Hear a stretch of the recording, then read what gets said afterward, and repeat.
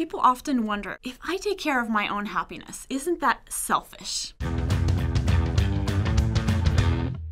Actually, if you look at the data, taking care of your own happiness is one of the most selfless acts you can do. You may have noticed that you're having a great day, everything's going well, and all of a sudden someone walks into the room who's very stressed or very angry, and all of a sudden you're stressed and angry. On the flip side, there are those people out there who are like sunshines. They walk into the room and they brighten it up. If you're happier, you actually influence three degrees of separation away from you. So if you're a happier person, then your friends, neighbors, daughter is happier as well. If you take care of your well being and you're happier as a person, you're more peaceful as a person, you're actually having that positive impact on everybody around you.